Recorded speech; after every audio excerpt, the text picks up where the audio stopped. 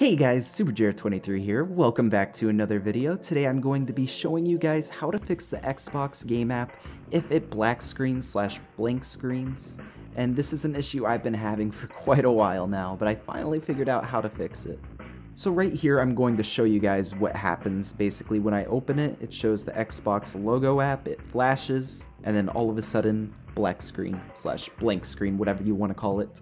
And to get rid of it, I have to open up Task Manager and close it manually by shutting down the task.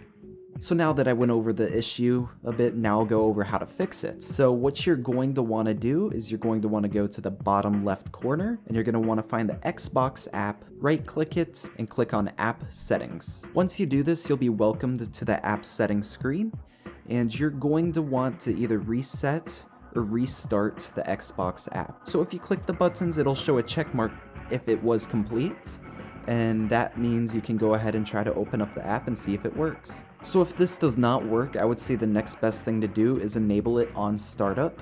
Um, that is what got it working for me. So if you disabled it manually, you'll have to open up Task Manager and re-enable it. Um, you should know how to do that if you know how to disable it there. But um, other than that, um, you can enable it in the same settings area by just sliding the slider. Lastly, you're going to want to restart your PC so all the changes you've just made take effect. So here I am, my PC is restarted. I'm going to go ahead and open up the Xbox app and see what happens.